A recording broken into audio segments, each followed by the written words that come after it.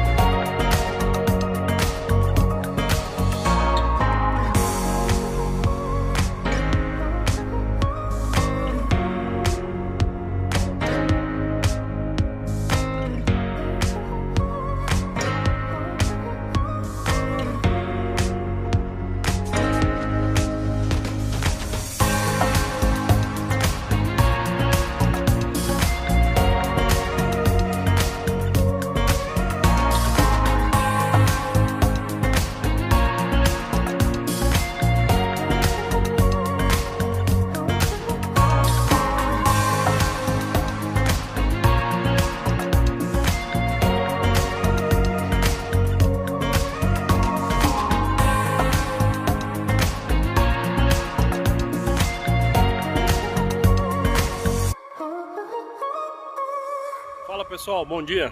Pessoal, vamos ver um pouquinho mais de, de John Deere aí. Vocês que são apaixonados pelos John Deere. Mostrar mais uma opção que tem aqui para produtores pequenos, tá? No caso de culturas de laranja, café, né? E até parreirais de uva também, tá? Pode estar utilizando esse trator aqui. Então vamos dar uma olhada aí hoje no 5060 EN. Pessoal, então estamos aqui hoje com o John Deere 5060EN, tá? Um tratorzinho de 60 cavalos, né? Um tratorzinho de porte pequeno para pequenos produtores ou para culturas perenes aí no caso de café, né, laranja, parreirais de uva, né? Um trator estreito, né, para que você possa entrar em vários lugares aí onde um grande daquele não entra, tá? Mas nem por isso ele é fraco, porque ele tem de 60 e tem de 80 cavalos também, tá bom? Pessoal, a posição do sol hoje não está muito boa aqui para gravar, mas é o que tem para hoje, tá? Então, assim, vamos falar um pouco de, de, de, força dele, de motor, especificação, dessas coisas aí que vocês gostam de Pessoal, saber. vamos começar aqui por trás, então. Então, levante hidráulico, capacidade para 1.500 quilos, tá? É, terceiro ponto, vamos ter aqui duas saídas de VCR, é, com um opcional de regulagem de fluxo também, tá? Ele consegue mandar em uma dessas aqui, que é assim, ó, as duas, né, entradas de VCR aqui são uma, uma VCR só, né? Então são duas. Então cada uma dessa daqui ele consegue a vazão máxima de 49 litros, tá? A bomba tem vazão de 69 litros né? Mas ela vai usar para direção hidráulica, né? Para vazão daqui, então ela não vai conseguir jogar os 69 litros em uma só. Então ele tem uma vazão aí de 49 litros, tá bom? Pessoal, aqui atrás é bem simples, tomada de força também, tá? Tem normal e econômica, dá para estar tá utilizando aí também isso daí. Rabicho de tração, tá bom? E aqui a gente tem parte de abastecimento de óleo de, de transmissão, tá? E aqui atrás não tem muita coisa, tá? Ele é bem simplesinho mesmo. Então tem só o que você precisa, né? Que é VCR, terceiro ponto, né? E braços hidráulicos, a, a rabicho de tração e tomada de força, né? Então é isso aí que todo tratorzinho precisa ter. Pessoal, tanque de combustível 70 litros, tá? Autonomia boa, porque ele tem um motor de 2.9 2.9 litros, né? Então ele vai dar uma autonomia boa de serviço aí, tá bom? Pessoal, motor dele 2.9 de 60 cavalos, tá? Motor John Deere, é, John Deere agrícola, né? Com bomba Bosch, tá bom? De três cilindros, ó. Vocês podem ver que tem três saídas de bico, então ele é três cilindros só, tá? Ó, parte de escapamento, ó. Tá vendo aqui? Então, escapamento. Nas especificações, deixa eu dar uma olhada aqui, pessoal. Deixa eu ver aqui. Por aqui eu consigo ver. Pessoal, na especificação tava dizendo que ele era turbo, né? Mas eu não consegui ver pela grade, então abri o capu aqui, ó. Turbininha dele aqui, tá?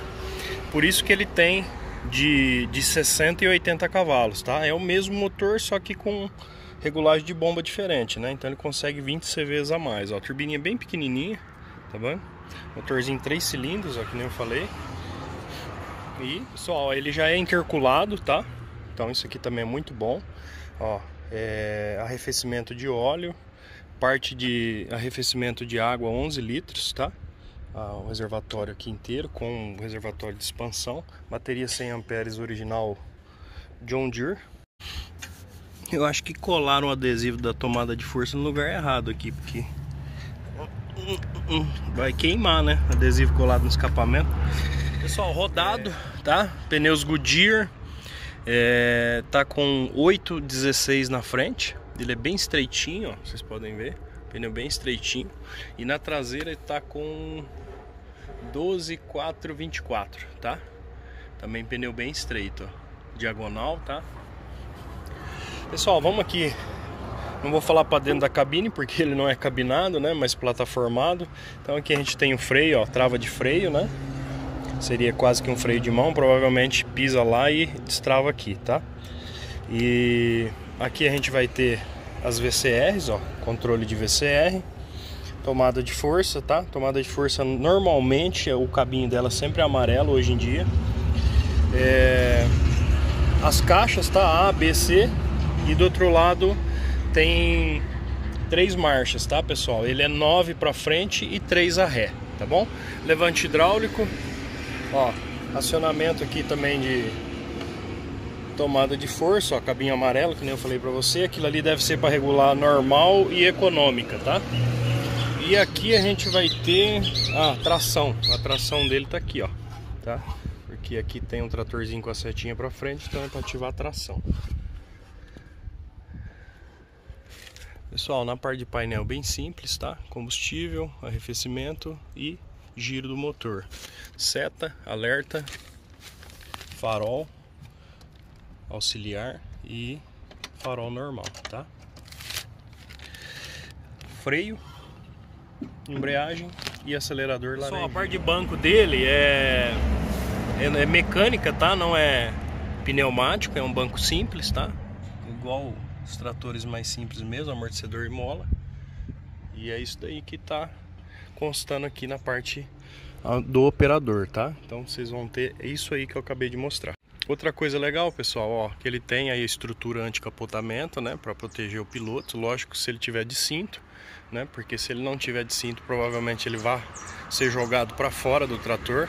Mas é uma estrutura bem forte, né, e isso daí pode né, salvar uma vida aí no caso de um capotamento, de um acidente aí mais grave. Pessoal, a parte de tração dele aí, ó, braços hidráulicos para direção, tá? Traçãozinho, diferencialzinho bem pequenininho, né? Como ele é estreito, né? Ele é bem estreitinho. Pessoal, esse trator aqui, ele tá pesando aí 2.720 quilos, tá? E ele pode chegar ao peso bruto total aí né, de carga total de 3 mil e alguma coisa, tá? Quem quiser informações um pouquinho mais precisas pode procurar no site da John Deere, tá? Que vai ter bastante coisas lá. Pessoal, é isso aí, tá? Vou mostrar um pouquinho mais de um tratorzinho John Deere para vocês.